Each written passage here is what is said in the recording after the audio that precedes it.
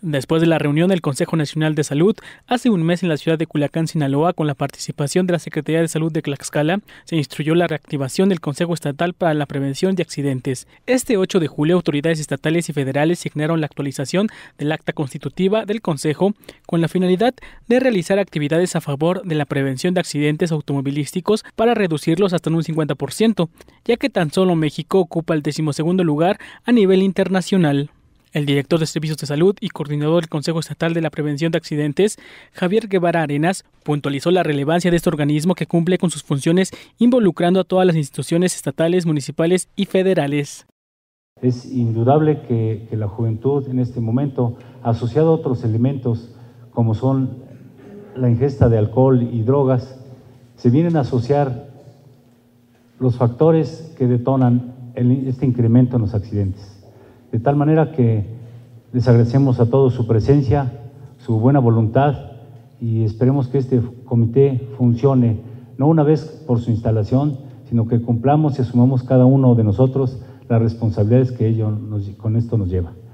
La Secretaría de Salud señala que atienden promedio 18 víctimas de accidentes al mes como choques o atropellados. El secretario de Salud, en su carácter de vicepresidente de la CUEPRAP, Alejandro Guarnero Chumacero, manifestó que este consejo ya existía, pero no funcionaba en óptimas condiciones y ahora, por instrucciones del gobernador, se tiene que impulsar la estrategia de salud, como es la función principal del consejo, prevenir.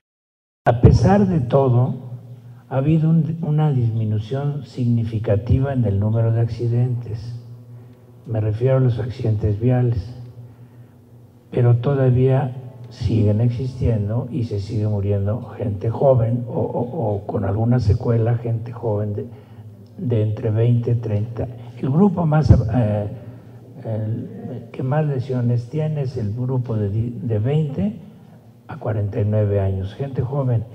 Y casi siempre, en el 70-75% de los casos, ligado con el alcohol y la velocidad, la falta de precaución. Los datos que arroja la Secretaría de Salud en cuestión de accidentes automovilísticos es que en el 2011 se atendieron a 1.124 personas, en el 2012 635 casos, para el 2013 fueron 540 y en lo que va del 2014 53 atenciones. En peatones atropellados las cifras señalan que en el 2011 se atendieron 230, en el 2012 160, para el 2013 129 víctimas y en lo que va del año son 18. Por otra parte, tenemos también que tomar en cuenta que la gente sigue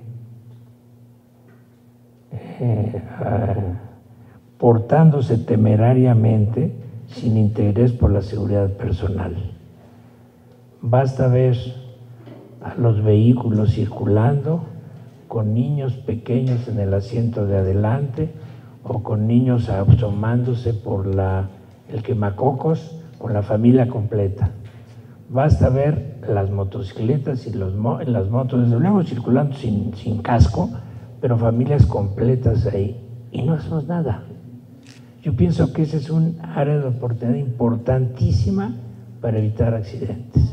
Un niño sentado en, en, las piernas de la mamá en el asiento delantero, basta un enfrenón para que un golpe en la cabeza lo desnuque. Después de que las autoridades firmaron el acta acompañados también de diputados locales, funcionarios federales y estatales, se determinaron los puntos de acuerdo de la sesión, como el reglamento de tránsito estatal, educación vial, límites de alcoholemia, entre otros aspectos. Leonel López, Sistema de Noticias,